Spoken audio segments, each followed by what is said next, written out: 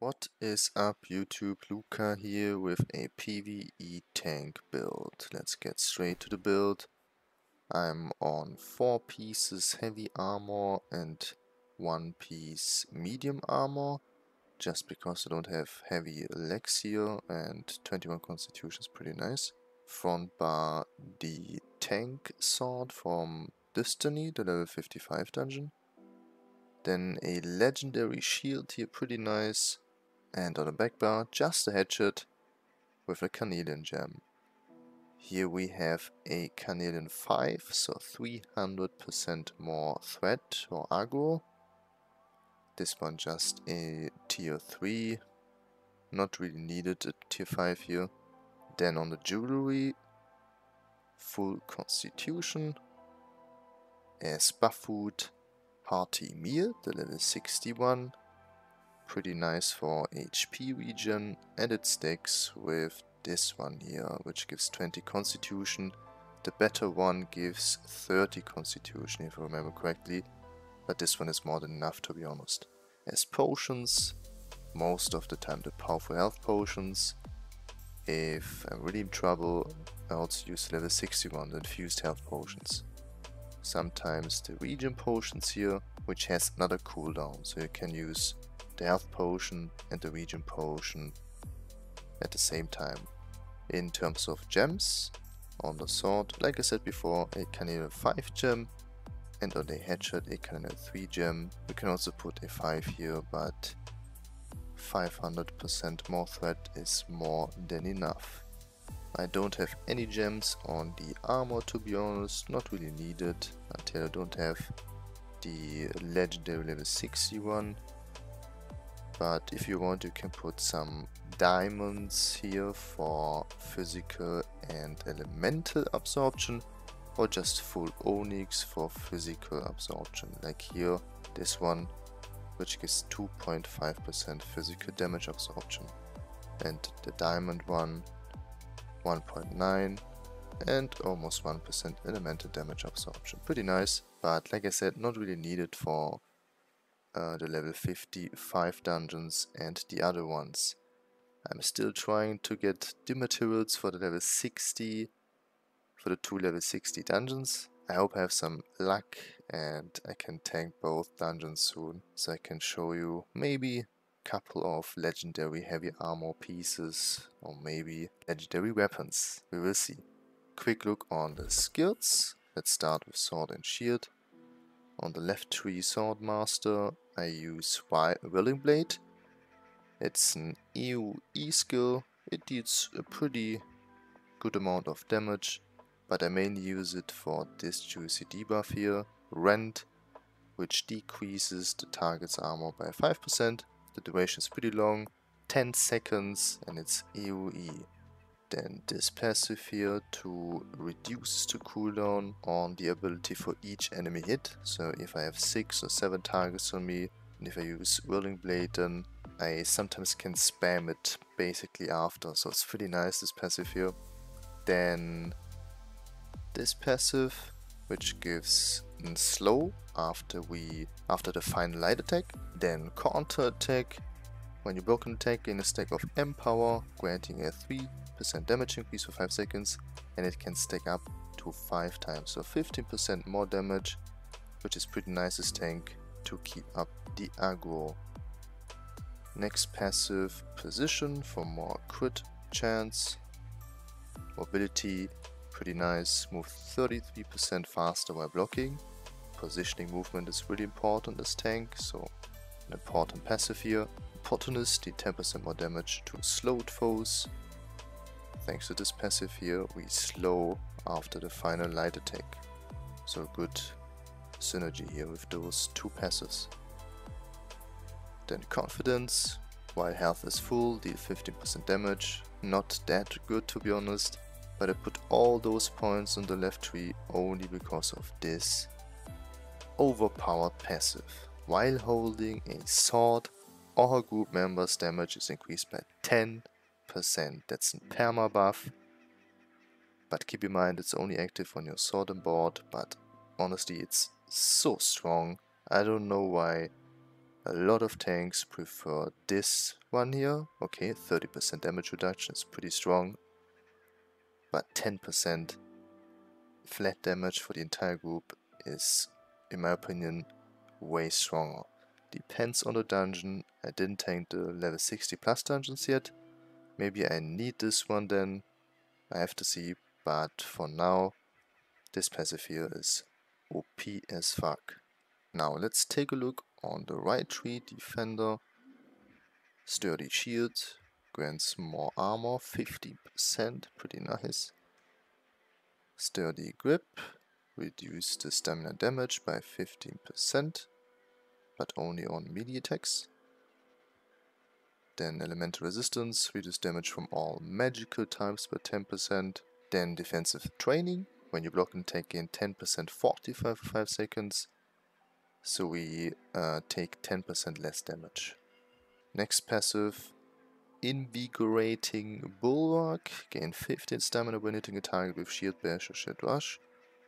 It's more a filler passive for this one. Recuperation. All incoming healing and regeneration is increased by 10%.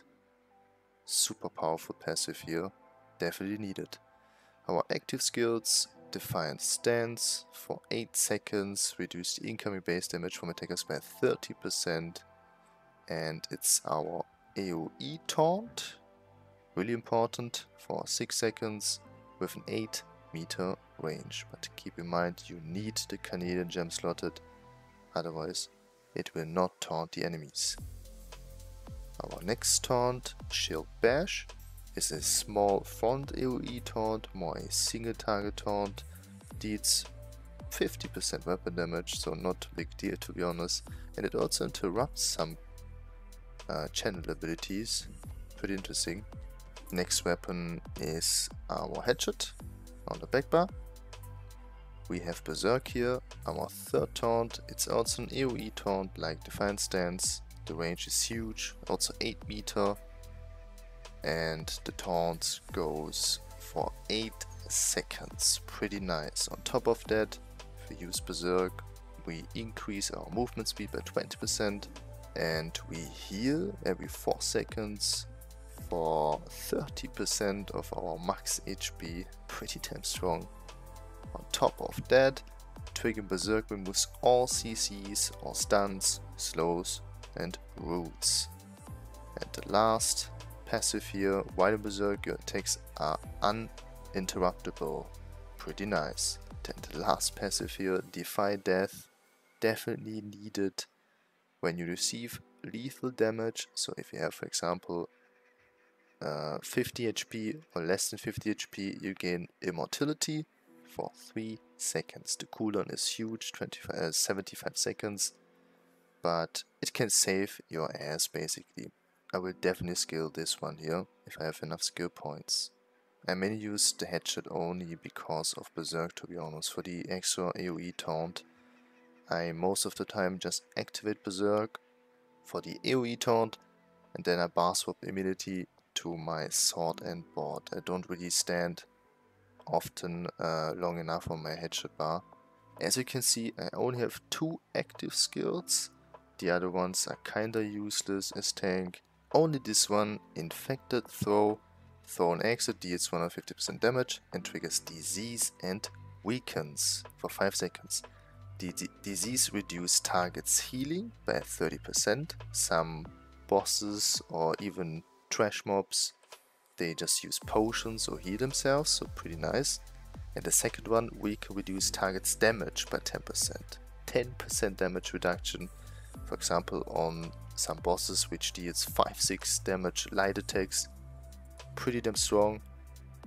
And the duration 5 seconds, this uh, passive here increases the debuffs to 8 seconds if the target is below 30%. And the second passive here, pretty pretty cool, it creates a 3 meter disease AoE, so you actually don't have to hit the target, you can just put it nearby and you can infect more targets with this passive here. So it's an AoE debuff then. I'll be honest with you, the hatchet bars, like I said before, only for Berserker, for the uh, AoE taunt. and for infected throw. All the passives here are kinda useless except of this one that I don't even have um, as tank. You can of course also use it for a little bit of damage input but most of the time if you have 1, 2, 3 adds on you plus boss you have to stand on the sword and board um, bar also because of the 10% extra damage for your group mates. Alternative, you could even go with the Warhammer instead of the hatchet. We have Shockwave, which is an AoE stun and AoE taunt. As you can see, 6 seconds. And it also applies Weaken, which decreases the target's armor by 10%. Also pretty nice, but I personally prefer Berserk just because of this huge 8 meter range. So you just stand in the middle of a, a mob group, for example, press Berserk, bar swap immediately to sword and board, and you have all mobs on you, all the aggro, just by pressing one button. Attribute points, I'm on 322 constitution and almost 100 strength. You can also put all your points on constitution or a little bit more in strength for the aggro, but I prefer more in constitution just for the max HP here. The first stage of constitution, so if you have 50 points in it, all health consumables 20% stronger, cool. Second one, so if you have 100 points in it, increase your max health by 10% and your physical armor, so a must have at 150 points in constitution, 10% of crit damage taken, that's more for PvP. With 200 increase the armor again by 20% at 250 points, an 80% damage reduction buff when you have uh, when you are full health. But the cooldown is 60 seconds, but also pretty nice. Last but not least, 20% duration of uh, stun, slows and roots on top of that. So must have, I would say, uh, 200 constitution points. So those 100 points here, you can also put them on strength or even on focus with restoration stuff. What you prefer more, doesn't matter to be honest. That's it with my PvE tank build showcase. If you have some questions, type it in the comment section below, I will try to answer them as fast as possible.